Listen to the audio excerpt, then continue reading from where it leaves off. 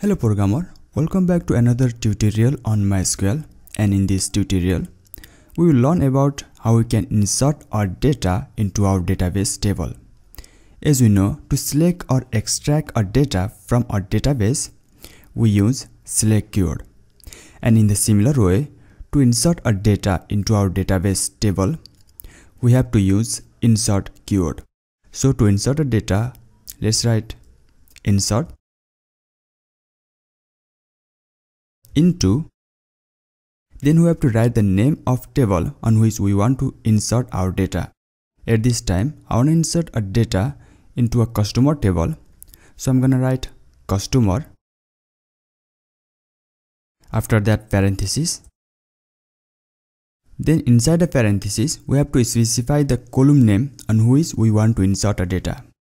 At this time i want to insert a data in id name country city and postal code.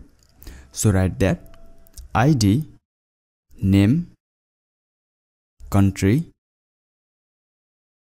city and postal code. Then values. Then here we have to write a value which we want to store. For id i'm gonna pass 30 for a name I'm gonna write Nawaraj for country. I'm gonna write Nepal. City Kolpur.